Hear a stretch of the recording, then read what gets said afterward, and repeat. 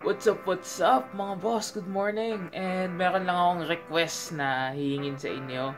Malapit na ang birthday ni dad. So kung pwede lang naman is mag-send kayo ng mga video greetings nyo and then i-compile ko lang siya. Hihingi din ako sa Tropa Pips and then sa family ko sa Philippines and then yun, i-compile ko siya para sa birthday niya sa October 13 is ipapapanood ko sa kanya. So, please, minsan lang ako hingi ng request, mga boss. Mag-send kayo ng video greetings nyo sa Facebook message or anything. Tanong nyo lang sa akin kung paano nyo masasend or sa email, kahit sa email lang pwede.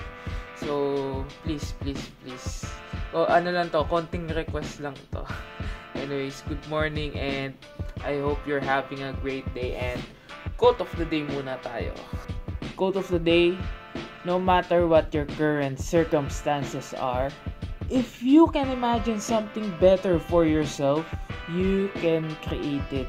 If you are trying to improve yourself and you're imagining what kind of self you want to be in the future, you can you, you can be as long as you are persistent and you want the change that you want to be if you are currently in a moving on stage whether it's relationship or in uh, work well if you can imagine and if you let go of the past nothing is impossible mga boss. It's a matter of accepting what you have right now and letting go of the past. So the goal here is just imagine something better that you can make yourself with just imagine and then everything will follow hope you're having a great day mga boss and see you guys later By the way, ang inalmusal ko lang kanina umaga is palabok and I have my coffee here. Then my two breads. Actually, may isa pa nga akong tinapay dito. And syempre, ang aking mga tuna. And meron pa akong dalawang corn corn some corn corn corn corn corn. And yun lang. Another week na naman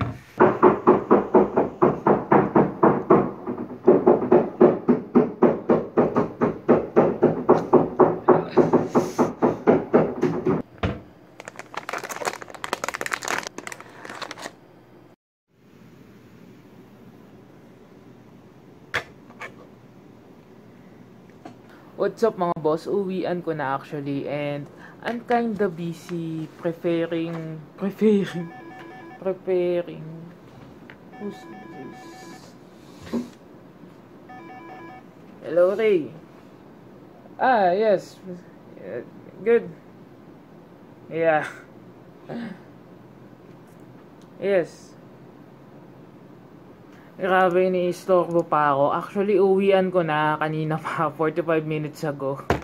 Tinawagan pa ako ng isa kong amo may pinapahanap na document. Actually, busy-busy nga ako dito sa ginagawa kong to. Actually, this is a video, special video.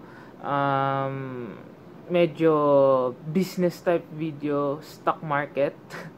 stock, stock market video. So, ang tagal-tagal ko nang sinabi na mag-start ako ng parang tutorial or anything about stock market. Ito na yon Hinahanda ko na siya para mas madaling maintindihan ng mga walang idea kung paano mag-invest sa stock market. So, sana, sana itong mga pinaggagawa kong to is maintindihan nyo soon enough.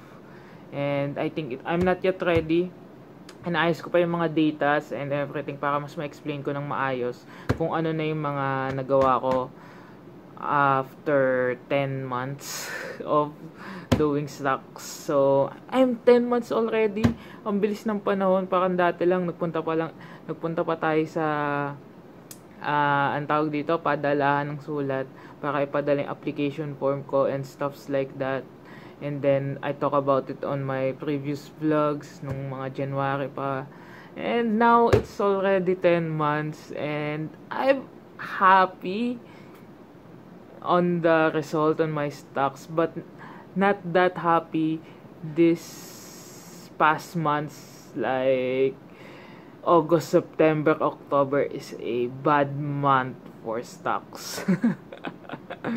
for this year, ah. Ewan natin sa mga susunod na taon, but it's not that good. So, yeah, let's see.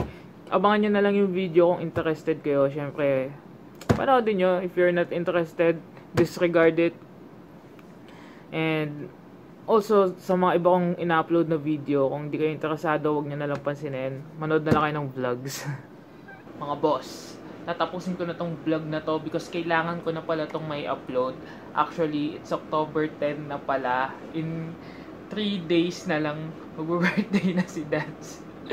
so, please, please, please send kayo ng mga videos nyo. Kahit maiksi lang, 3 to 5 seconds to 10 seconds Basta, please mag-send kayo message sa FB or sa Facebook page ko. Kahit mag-video lang kayo sa cellphone.